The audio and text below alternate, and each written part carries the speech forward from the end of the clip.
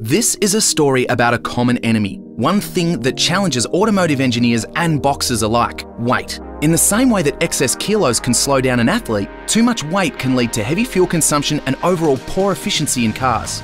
But unlike a boxer, you can't just put a car on a diet. The body has to be strong and rigid because strong keeps it safe and rigid keeps it handling properly. So our SkyActiv target for the body was 30% greater rigidity, top crash safety performance and an 8% weight reduction.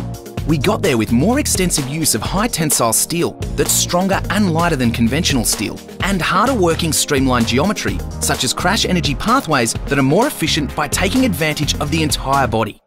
Our chassis goals were weight reduction, more Mazda nimbleness, and improved stability. Designing a quicker steering system made us more nimble at low speeds, while using front suspension geometry beefed up high speed stability for that smooth, move over on the freeway kind of ride.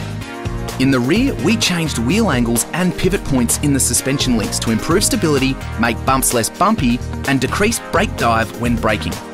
Big changes like these were made possible by our clean sheet approach. In many cases, car chassis and bodies are engineered by different groups, even different companies at different times. When you do this, each part has to be compromised in order for it to work with the others, versus being perfected individually and harmoniously integrated with surrounding parts. But since our body and chassis engineers work together, we didn't have to compromise.